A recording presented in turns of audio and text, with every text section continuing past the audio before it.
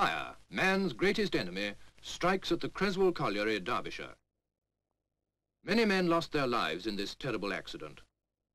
Soon afterwards, a working party was set up by the authorities to inquire into the causes of underground fires and to determine the best means of preventing them. To convey coal in the mine, a system of conveyor belting is used. It was found that the fire was started by frictional heating caused by jamming at the pulleys. The belting is constructed of rubber, reinforced with cotton duck. Investigation proved that if a roller became jammed, small pieces of rubber tore away and exposed the cotton duck. This ignited and set fire to the rubber. In turn, burning flakes of rubber set fire to the coal dust and to the rest of the belting. There were two approaches to the problem.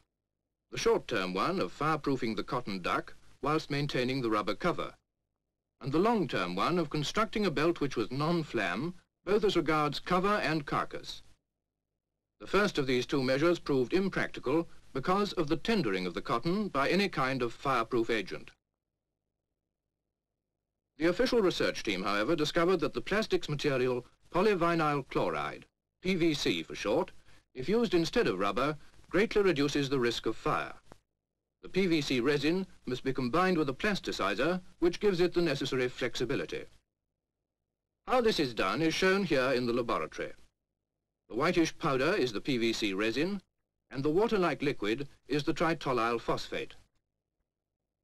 The main reason for the fire-resisting quality is that the heat generated by an obstruction results in the softening of the PVC composition, which is thus forced into the fabric and thereby fireproofs the textile foundation. In the form of this free-flowing paste, it can conveniently be applied to the belt carcass where it is subsequently cured. Here in the laboratory, the curing effect of heat is shown by pouring the paste onto hot rollers. The most important group of plasticizers which meet these requirements are the phosphates, made in large quantities for the plastics industry.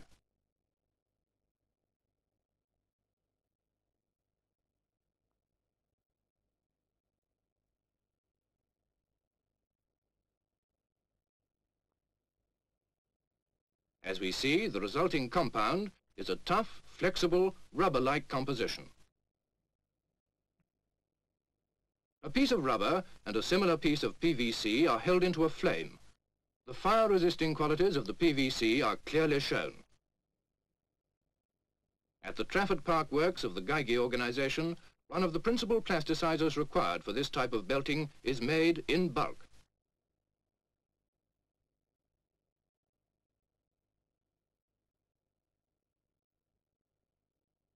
Geigy are leading manufacturers in Great Britain of plasticizers for the plastics industry and every day brings new uses for these products.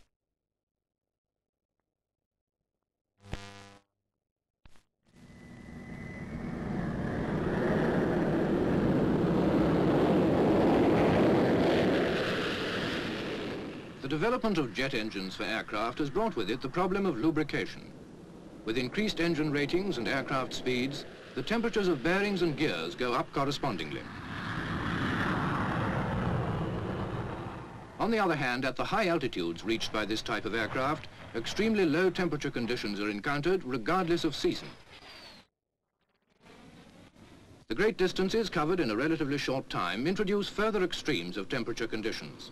In other words, the operations of jet aircraft are such that within a few hours flying time, temperatures ranging from Arctic winter to tropical summer have to be catered for. As far as the engine is concerned, a thin mineral oil would permit of efficient operation at low temperatures, but heavily loaded gears would not be adequately lubricated. It would also be too volatile for satisfactory use in the hot parts of the engine.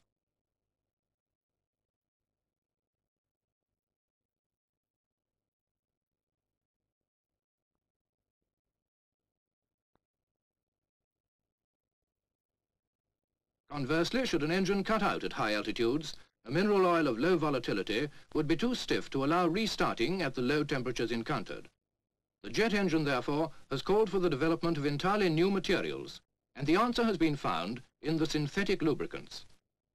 Geigy have for many years manufactured plasticizers used to impart flexibility to plastics compositions such as PVC. Such materials become brittle at minus 20 degrees centigrade, but by the use of special plasticizers, flexibility is retained. These plasticizers themselves are liquids and offer the advantages of fluidity at low temperatures and low volatility at high temperatures. With these characteristics, they have made possible the formulation of the new synthetic lubricants.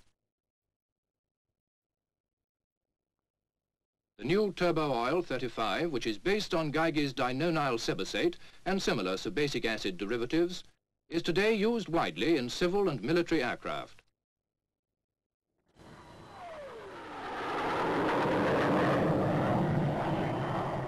Geigy, looking forward and upward, are privileged to have made this important contribution to one of the most outstanding developments in our age.